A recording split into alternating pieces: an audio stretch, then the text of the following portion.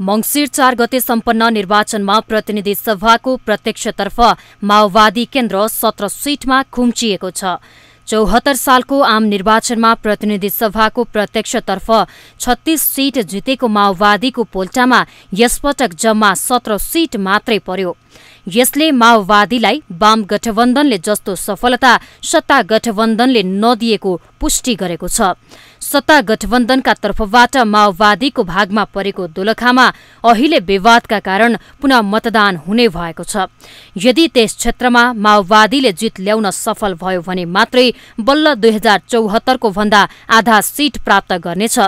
यसरी सीट खुम्चिनुमा कंग्रेसको मत ट्रान्सफर नभएको विश्लेषण गरिएको छ। त्यसो त कैयौं निर्वाचन क्षेत्रमा कंग्रेसले स्थानीय तहमा पाएको मत प्रतिनिधि सभामा उसैका उम्मेद्वारले पनि पाएका छैनन्। माओवादीका नेताहरू भने प्रतिनिधि सभाको एकचालिस स्थानमा उम्मेद्वारी मध्ये जम्मा सत्र स्थानमा जित्नु कंग्रेसको अन्तर्घातको प्रतिफल रहेको आरोप लगाउँछन्। चौसठीको माओवादी सत्तरीमा रहेन सत्तरीको माओवादी चौहत्तरमा पनि रहेन चौहत्तरको माओवादी अहिले उनासीमा नरहेको कुरा साँचो हो। यो बिचमा जनतासँगको सम्बन्धको कुरा जनतालाई दिएको आश्वासनलाई परिपूर्ति गर्ने कुरामा कमी भएको कुरा र परिवर्तनको एजेन्डा बोकेको माओवादीलाई ध्वस्त बनाउनुपर्छ कमजोर बनाउनुपर्छ कर्नर पार्नुपर्छ भन्ने देशी विदेशीहरूको षड्यन्त्रको शिकार माओवादी भएको कुरा साँचो हो। त्यस कारणले माओवादी खुम्चिँदै गएको कुरा हो। कङ्ग्रेसको मत हँसिया हथौडामा होइन घन्टीमा पर्यो। त्यसकारण घन्टीको अस्वाभाविक रूपमा मत प्राप्त भयो।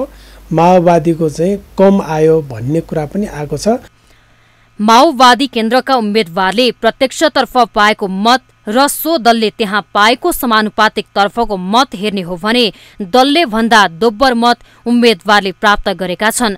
यसलाई माओवादी केन्द्रको सम्मानजनक मत भएको ठाउँमा कंग्रेसको भोट थपिँदा जित सहज भएको भनेर पनि विश्लेषण भइरहेको छ। मुलुकको तेस्रो ठूलो शक्तिका रूपमा रहेको माओवादी सदैव अरूको काँधमा चढेर मात्रै आफ्नो अस्तित्व जोगाइ राखेको मात्रै छैन अरू दलको घोडा बनिरहेको छ। जसले अन्य शक्तिहरूलाई पहिलो दल बन्न मद्दत पुर्याइरहेको छ।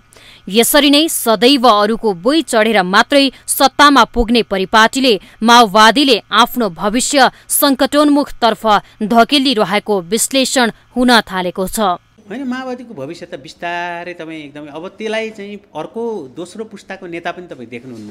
त्यो माओवादी चाहिँ प्रचण्डजीले कस्तो बनाउनु भयो भने उहाँ पैँतिस वर्षदेखि त्यो पार्टीको अविच्छिन्न नेतृत्वमा हुनुहुन्छ। एउटा पार्टीमा तपाईँ जति क्षमता भए पनि पाँच वर्ष सकेसम्म त पाँच वर्षमा चाहिँ छोड्ने हो होइन? आजको युवासँग कनेक्ट हुनु पऱ्यो नि। त्यो त्यो कनेक्टिभिटीको लागि जुन भाषा चाहिन्छ त्यही नै छैन होइन? जुन खालको सोच चाहिन्छ त्यो नै छैन। विघटन उन्मुख होइन? एउटा शक्तिको रूपमा छ। त्यो कमजोर हुँदै गयो। अहिले पनि अब निर्णायक ठाउँमा त यस कारणले छ कि अहिलेको चाहिँ राजनीतिक शक्ति सन्तुलनभित्र उसको उपस्थिति बिना सरकार बन्न चाहिँ यी दुवैमा उसको सान्दर्भिकता छ होइन? तर त्यो गणितीय सान्दर्भिकता हो। राजनीतिक सान्दर्भिकता भन्नु र गणितीय सान्दर्भिकता भन्नु फरक कुरा हो। माओवादीले सजिलै नतिजा नस्वीकारेर अन्य दलहरूले असहयोग गरेको भनेर आरोप लगाउनु भन्दा पनि जनताको विश्वास जित्न नसक्नु मुख्य कारण भएको तर्फ पनि ध्यान दिनुपर्ने अवस्था आइसकेको छ। सधैँ अन्य पार्टीसँग मिलेर सत्ता समीकरणमा निर्णायक बन्ने रणनीति त्यागेर आफ्नो वर्चस्व कायम राख्न अब पनि जनमत जुटाउनेतिर नलाग्ने हो भने आगामी दिनमा अस्तित्व नै सङ्कटमा पर्न सक्ने संकेत देखिएको छ। माउन्टेन टेलिभिजन एसडीका लागि क्यामेरामा विक्रम साकेका साथमा बिन्दु अधिकारी काठमाडौँ।